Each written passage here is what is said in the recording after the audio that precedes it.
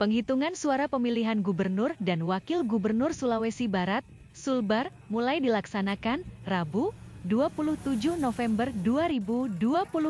Penghitungan suara dilakukan pada pukul 2 siang Wita, setelah pada pukul 8 pagi pukul 1 siang Wita dilakukan pemungutan suara. Tempat pemungutan suara, TPS 02, Lingkungan Landi, Kelurahan Rangas, Kecamatan Simboro, Kabupaten Mamuju, salah satu TPS yang telah merampungkan penghitungan suara. TPS yang berdekatan dengan posko pemenangan pasangan calon, paslon, Gubernur nomor urut 4 Prof. Husain Syam, PSS, Eni Anggraini Anwar ini memiliki 384 daftar pemilih tetap di PT. Paslon nomor urut 3, Suhardi Duka, SDK, Salim S. Mengga unggul di TPS ini. Mereka berhasil meraih memperoleh 123 suara. SDK Salim unggul dari paslon nomor urut 4 Pias Eni yang memperoleh 77 suara. Sementara, paslon nomor urut 2, Ali Bal Masdar, ABM, Arwan MF Aras memperoleh 49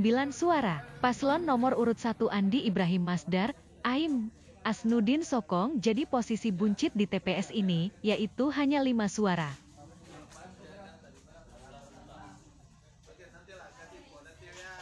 Download Tribun X sekarang, menghadirkan lokal menjadi Indonesia.